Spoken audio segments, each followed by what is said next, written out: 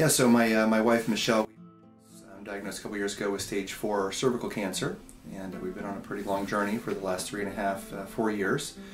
Done a lot of different protocols um, up until a couple weeks ago. Um, actually, didn't think she was going to make it through the weekend.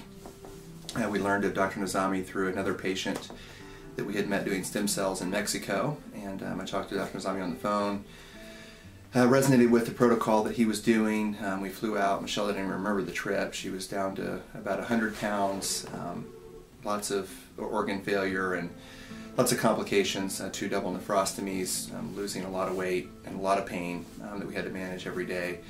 But anyway, we got here after the first day of um, just assessment. Second day she started treatment. By the end of the second day of treatment, so our third day here, um, her pain was noticeably less. Uh, she cut her pain meds in half. She's been on high levels of, of Dilaudid for the last two years.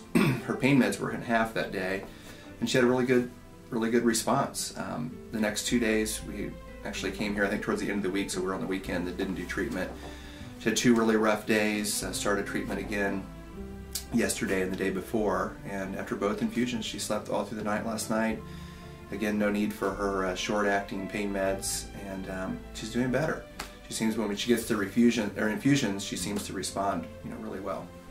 So I don't know at this stage. Obviously, it's too early to tell whether it's palliative or curative, but definitely noticeable changes.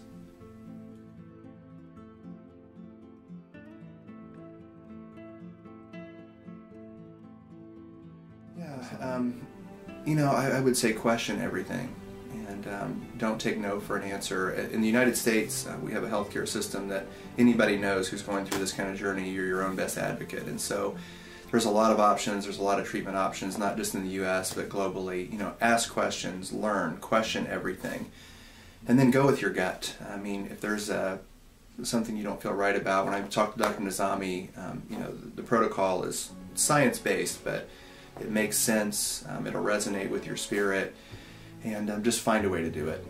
And so, anyway, I would just say be your own best advocate, do the research, question everything, and don't just take the responses people give you. If this is the only option, that it's the only option. I don't say this one, but a lot of times you'll hear you only have one option. You know, you can do chemo, you can do radiation. There's tons of other options. And um, I just encourage you to, to sort it out, go with your gut, and um, be willing to give it a shot. Hi, I'm Michelle Weaver, and I've been um, down at the clinic for about about a week now, and I just wanted to um, say what a blessing it's been. I came in and could barely walk, talk.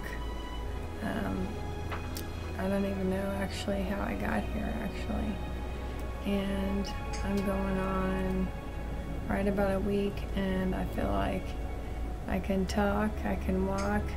Um, I'm making a lot of progress and I, I just really greatly, greatly appreciate the treatment um, that the doctor has going down here.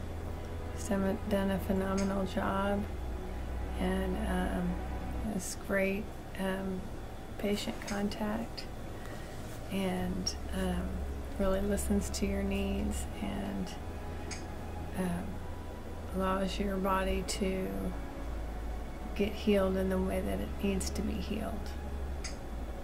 Thanks.